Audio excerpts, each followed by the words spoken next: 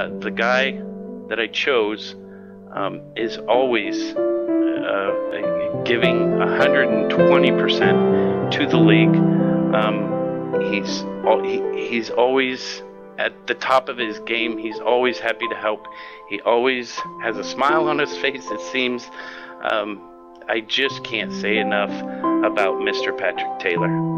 He's one of our admins.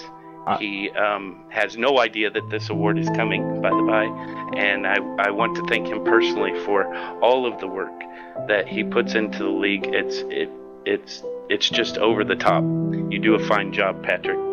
Um, congratulations, you're first medicals driver of the year. Yay, Ah, Patrick! Congratulations, Congratulations, Patrick. Patrick. Um, wow. Uh, Brandon is right. I had no idea that was going to happen. I guess this is a bad time to be speechless. Um, well, thank you very much. I, I appreciate it. I, I pretty much feel the same way Brandon does about the league. I'm honored to be here and to be a part of it. And uh, getting to be part of the admin team was, was just an added bonus. So um, thank you. I'm, I'm very grateful for this. I really appreciate it.